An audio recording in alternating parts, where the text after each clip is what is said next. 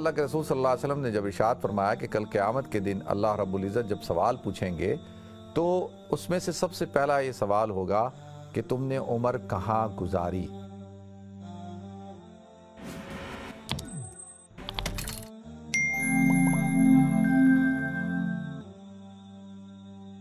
السلام علیکم ورحمۃ اللہ وبرکاتہ۔ ناظرین بات ہو رہی تھی نوجوانوں کے کردار کے اوپر۔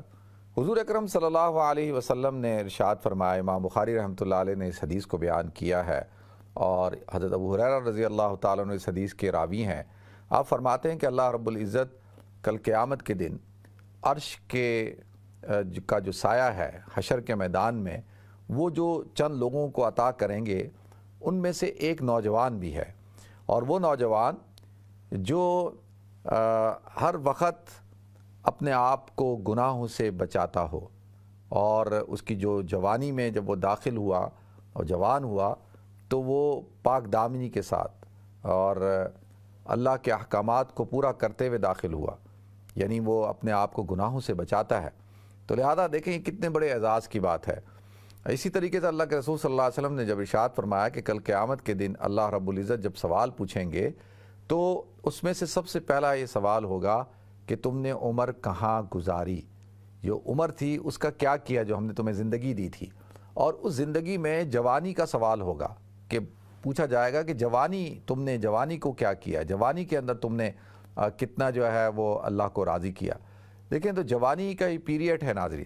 آپ اگر ہسٹری اٹھا کر دیکھیں تو بڑے بڑے جو آپ کو کارنامے نظر آئیں گے، وہ سارے نوجوانوں نے عطا کیے۔ اگر آپ دیکھیں سلطان صلاح الدین ایوبی کون تھا؟ نوجوان تھا۔ اگر اس کی آخری جو فتح ہے بیت المقدس کی، اس سے پہلے اگر اس کی پوری زندگی اٹھائیں، اس کی جوانی اٹھائیں، تو ایک ایک بہترین اس نے ایک زندگی گزاری۔ پھر طارق بن زیاد کون تھا؟ اور اسی طریقے سے جو ہے، محمد بن قاسم کون تھا؟ پھر اسی طرح اگر آپ آگے چلیں تو سلطان محمد فاتح کون تھا؟ تو یہ یہ جو نوجوان گزرے ہیں انہوں نے تاریخ کو رقم کیا ہے، کیونکہ ان کے اندر جوش ہوتا ہے، جذبہ ہوتا ہے، ولولہ ہوتا ہے، طاقت ہوتی ہے۔ تو لہذا اسی لیے تو جو ہے وہ تمام کی تمام سوسائٹیاں جو ہے وہ اپنے نوجوانوں کے اوپر انویسٹ کرتی ہیں۔ اور ہمیں بھی اپنے نوجوانوں کے اوپر انویسٹ کرنا ہوگا۔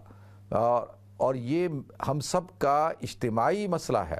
تو لہذا آپ اپنے بچوں پہ انویسٹ کریں۔ اللہ تعالی ہم سب کو عمل کرنے کی توفیق عطا فرمائے۔ you